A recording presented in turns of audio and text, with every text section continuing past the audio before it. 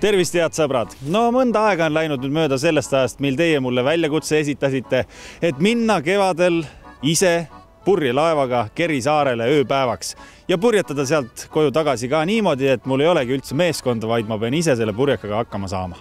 no vot, sõbrad, see on see purjekas, mis mind sel teekonnal saadab ja seal peal on ka kapten Elmo Saul, kes mind enne loodetavasti põhjalikult ette valmistab. täna, nagu te näete, siin oktoobri viimastel päevadel on ilm minusuguse algaja jaoks täiesti ideaalne, sisuliselt pea et tuulevaikne, aga piisav, et ma saaksin natukene õppida, kuidas selle purjekaga on sõita ja kuidas sellega on silduda. hakkame pihta. kohal, nii, mis meid ees ootab? et üldse laevaga sõita, pead sa oskama seda laeva käima panna ja ma tahan, et sa kõik teed ise et ega kevadel keegi sinu eest seda tegemas ei ole. Te mõtlete kindlasti, miks ma juba teen asju ja kuidas ma oskan neid teha. me oleme ühe korra käinud sildumas, sellepärast et Elmo tahtis aru saada, kas on üldse mõtet kaamerat kutsuda. tulemus oli, et tasub küll. kompassikate ka siit ilusasti ära ja viime need katted alla. nii, nüüd me oleme tulnud siis äh, purjejahi sisse. valid omalised head kindad. roolimehe kindad on pikematega äh, või paar sõrme kinni sul on soodimehe kindel, aga las olla, kas meil äh, vool on? on kaksteist koma seitse volti mm. -hmm. siis lükka instrumendid sisse, nii, ja autopiloot ka ja VHF ka. igaks juhuks, see on raadio. massilüliti, head sõbrad, kuna ma olen ühe korra juba käinud ja ma olen suurepärane õpilane, on ju, Elmo? absoluutselt suurepärane siis ma tean, et see on siin all, kõik asjad on täpselt niimoodi ära paigutatud et midagi pole liiga palju ja midagi pole liiga vähe. ja nüüd äh, lähme proovime, kas mootor käima läheb. aa, kõigepealt, äh, kuna on diiselmootor, siis kõigepealt tuleb äh, küünlad ujutada või? soojendada. üks, kaks, kolm ja nüüd? keerame. aa, läkski. kena. palun väga, head sõbrad. nurrub nagu noor rebane. ja plaan on siis selline, äh, mina olen sul siis madrus, soodimees, deckhand on ju, et äh, võtan sul sildumise otsad lahti ja panen kinni ja nii edasi. õiged otsad õiges järjekorras õigesse kohta, et teha järgmine sildumismanööver ja kui seda ei osata teha, siis läheb sildumine äh, kaoseks. jah, ja sildumine kaoseks võib tähendada seda, et ma mitte ainult ei lõhu enda purjekat ära, vaid ma lõhun ka selle, selle. et kõige esimene asi on, kust tuul puhub antud hetkel nii, täna puhub meil tuult eh, kummalt poolt eh, tüürboordist. tüürboordist, vabalt võib rääkida ka parem-vasak, aga tüürboord on, võime harjutada ilusti õigete sõnadega mm. tüürboordist. ühesõnaga, vot siin on meil kaart tegelikult ees. Eh, selle järgi saab väga hästi panna kursi paika näiteks. siin ma näen ka praegu laeva kiirust, eks ole näen sügavust, näen koordinaate ja palju muudki veel. see on nii tore, et sa seda ütled, sest et äh, nii kui sa seda ütled, tekkis mul tahtmine see kinni ka.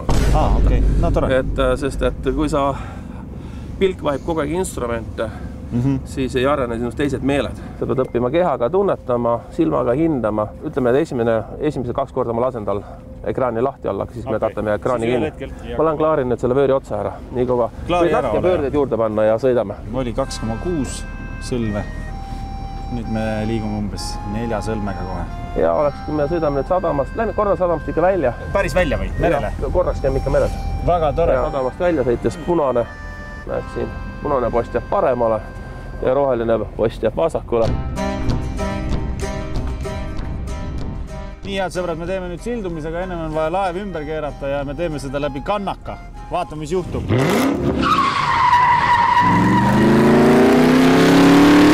nii, ots on ümber keeratud.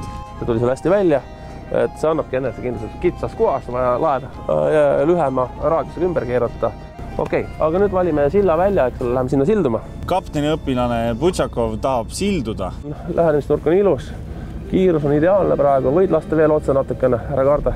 ära muretse, et on kuulda, kui vastu läheb nii, ta hakkab keerama ja neutraali tagasi, väga hea. edasi. nüüd ma keerasin liiga palju. nii, praegu see asi läheb nüüd natuke käest ära. mida teha, kui läheb käest ära? põgene. siis lähed ära. ei tasu hakata parandama vaid kui läheb sildumine äh, käest ära, targem on minna ära, tulla uuesti.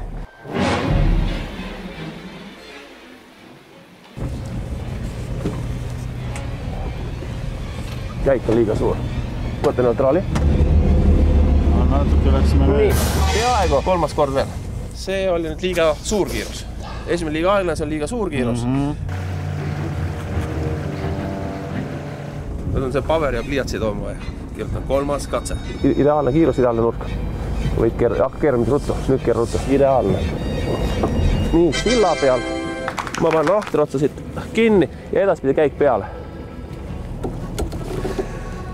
sul edaspidi käik on peal, laev tahab edasi minna, ei saa. ja tõmbab on ennast vastu tuleb. ilusti vastu. ühesõnaga enam-vähem sain hakkama praegu. väga hästi, see oli väga, see oli, see oli väga super pööre. nii, siis me kõik kaasa, kelle me pidime kaasa võtma. Ja ma saan aru, et me läheme uuele katsele, jah? uuele katsele, nüüd teeme niimoodi, et ma olen alla kajutisse, teen väikse une. Nalja teed või? siis hõika, kui otsad on kinni, onju. nalja teed või? no nii, nüüd me oleme küll sellises veidras olukorras, et kapten Ilmo ei teinudki nalja, aga ma arvan, et ta natuke ühel hetkel ikkagi piilub, et mis seisus me oleme. nii, no anname endast siis parima. nüüd nii nagu läheb. Ja sind ründamas suur hall. kui on meri hülgehall ja sind ründamas on suur ei, ei, ma viskasin mööda, kõik oli hästi, ma arvasin, et ma viskan mööda. ma jõuan veel parandada. jõuan, laev jäi ise seisma. nii, aga sellest sa saad küll palju õnne, see oli Ah. Ülihästi tehtud praegu seal see manööver. no välja arvatud see vise, et tuleb välja, et ikkagi ma pean hoopis minema midagi muud harjutama, ma pean minema kuskile lassotrenni. kurat, ei hüppa, ei viska, astud ja paned. ta siis, et kuskil rannani ja mere ääres väike maja ootamas on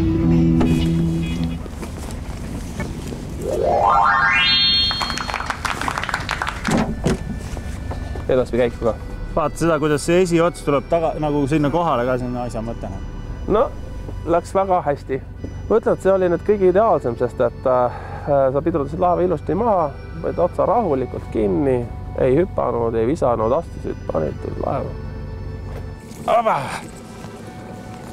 niimoodi. tuleme peale tagasi ka. ops.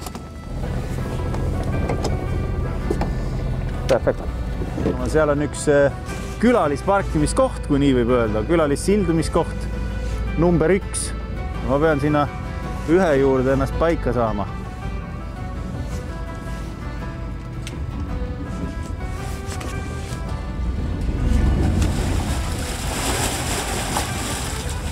nii ja naa, aga no saan kinni panna, aga no natuke panin meetri alguses kohe mööda ära Läheb jälle üks viis tundi tööd ja, ja siis äh, tuleb perfektselt. head sõbrad, nagu te näete, õpingud käivad. esimesed väiksed sammud on astutud ka, päris palju on veel minna.